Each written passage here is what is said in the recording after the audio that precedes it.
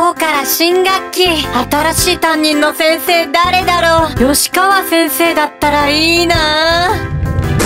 はーいおはようございます。挨拶しろ！一年間終わった。新担任が怖い。50メートル走測ります。さくらちゃん見てるしいいとこ見せなきゃ。よーいドン。うわ好きな人の前でこけるあらあんた熱あるじゃない。今日は学校休みなさい。あー今日給食カレーなのに。じゃあ澄んだ日の給食がカレやべ急げ漏れ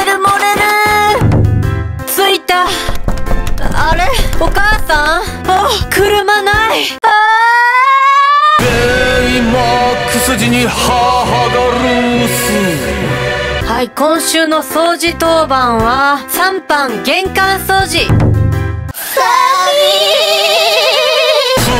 の外掃除。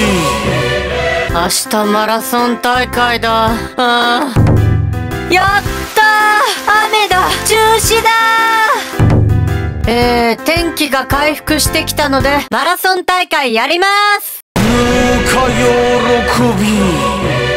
おはようございます。えー、今日たかしくんとけんじくん風邪でお休みです。えどうしよう。一人ぼっちだ。仲いい人が全員休み。たかし本当は風邪じゃなくて入院してるんだって。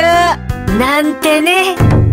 たかし入院してるんだって。しかもやばいらしいよ、えー、たかしくんについて変な噂が流れてるので緊急で学年集会開きます。やばい。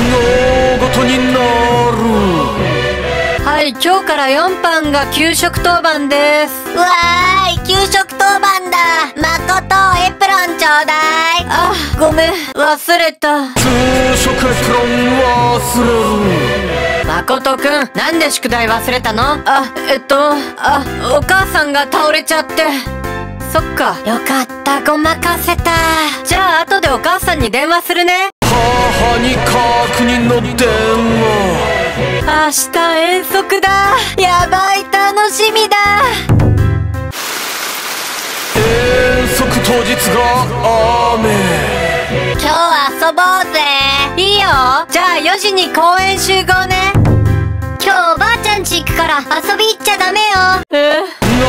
遊び約束解除うわ今日苦手な授業ばっかりだ。はいじゃあこの問題を。今日は1日なので出席番号1番誠くん。最悪だ。苦手な教科かける出席番号。おはよう